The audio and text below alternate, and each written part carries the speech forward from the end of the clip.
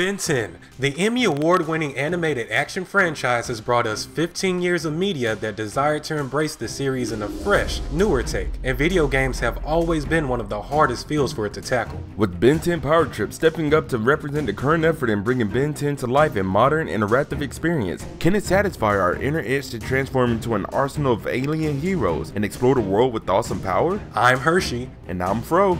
And we're going to take a deep dive into the Ben 10 game that might take the crown as the best Ben 10 game made so far. Hex! Ben Tennyson?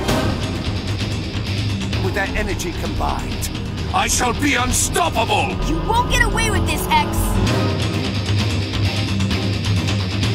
Stop trying to remix my plan!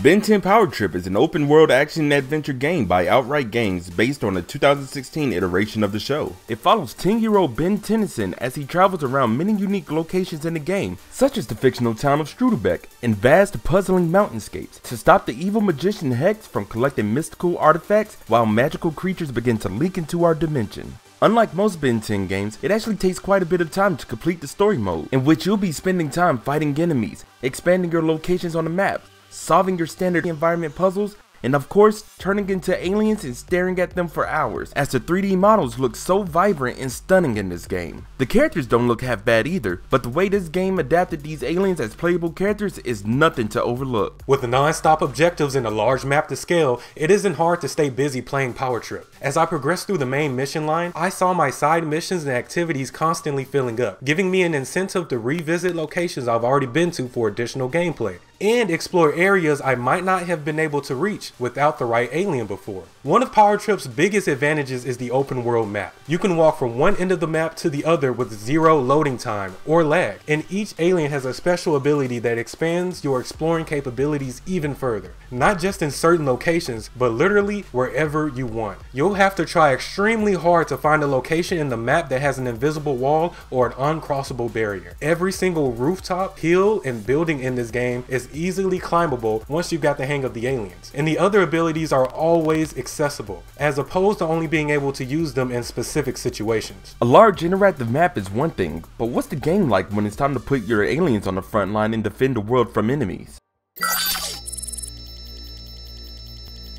The controls are pretty standard for an action adventure game, so you shouldn't have a hard time getting the hang of how to fight with each alien. You have your light and heavy attacks, which of course you can combine to create combo moves for that extra flair. You can also evade attacks by jumping or dodging, and take things a step further by using your alien's special ability in combat, like creating shields, grabbing enemies out of the air and pulling them towards you, and even climbing on top of them to destroy them from the inside. You advance your abilities through a 20 point system, split into three stats toughness, which can decrease damage taken during combat, power, which increases your own damage output, and luck, which gives you extra loot and gives you a chance for a lucky shot, aka a critical hit. I started only buffing my strength, but I quickly found that you can take some heavy damage, so I needed to start focusing on toughness as well. I thought I'd never get lucky, but I couldn't resist that either. So from then on, I decided to build my stats pretty evenly, unless I found myself needing one more than the other for certain missions. While you can't fight as Ben, the game offers you 6 transformations to battle with. The biggest improvement this game has over any of the others is that you don't have a time limit on how long you can be an alien. Power Trip lets you fully embrace the desire to feel like a master of the Omnitrix. The quick change feature has never felt smoother as you can change between aliens at any point in time, during a combo, in mid-air, even while running.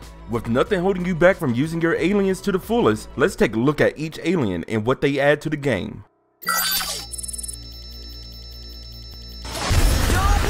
Everyone. Your world famous alien hero is here.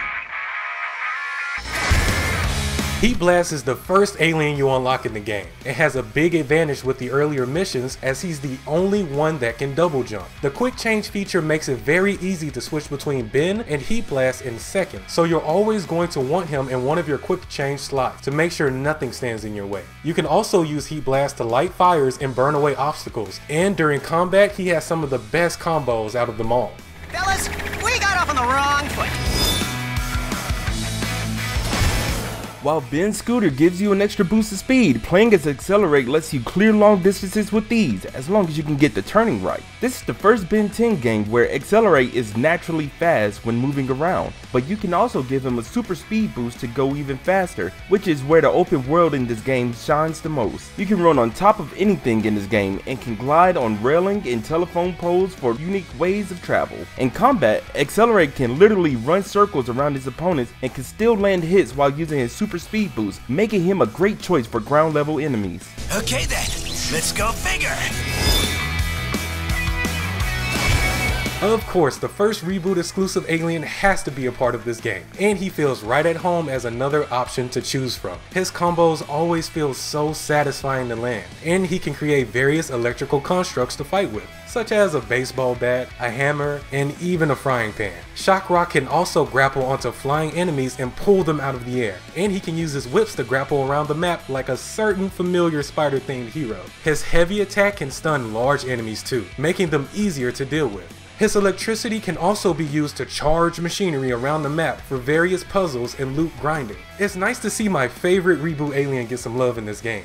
I even drew this picture of him. Hey Hurshie, that's a pretty nice drawing. If you guys ever have any art that you want to share, why don't you post that below in our Discord server? We'll take a look and critique on the bi-weekly Sundays as part of our new series, Talk to the Tank. You can head over to our second channel after this video to check out some of our previous episodes, where we've interviewed fellow Ben 10 YouTubers and gave our thoughts on upcoming media, and get the inside scoop on projects we're working with. But before you do that, let's take a look at the next playable alien, Rath. If you think you can beat Rath, you got another thing coming!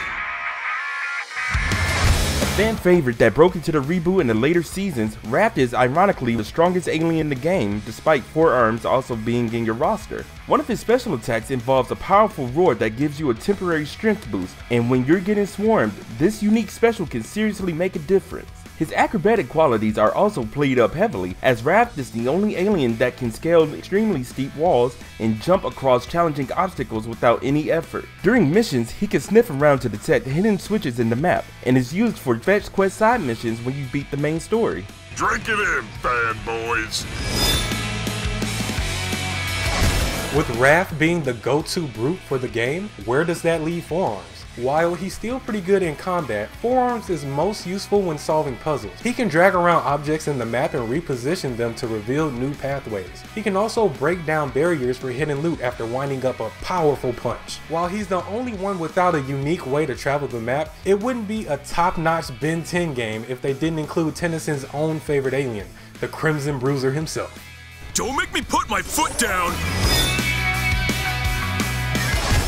If those first 5 aliens didn't sell you on the gameplay, Diamondhead makes everything worth it. He has a unique method of travel that functions as a glide, so you can't elevate using it, only de-escalate. But you can gain a huge amount of distance before ever touching the ground, and there's no limit to the length of your glide. His shield can also lift up enemies, deflect certain attacks, and act as an obstacle to gain advantage and take control of the battlefield. His ranged attack is a little slow, as he can only throw one crystal at a time, but the crystals can lock onto their targets, making Diamondhead the best to use at a distance.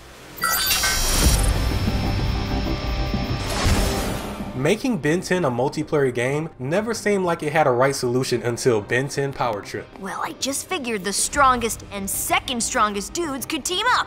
How about it? You got yourself a deal, second strongest.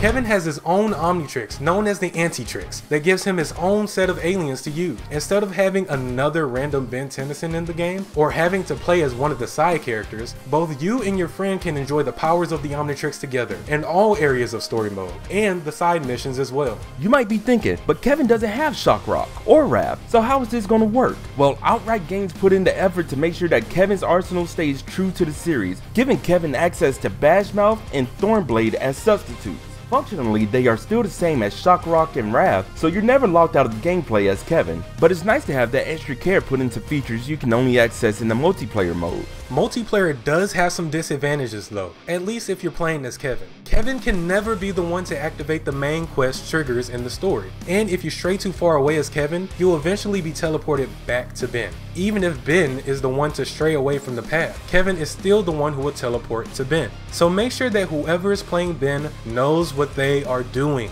Since Kevin can't progress to certain parts of the story as much as Ben, he's really only there as an extra set of hands for Ben, but when it comes to combat, he's still on par. You can have hours of fun running through alien mobs with your friend to see who can take on the most enemies the fastest, or race around the map and discover more locations, missions, and secrets.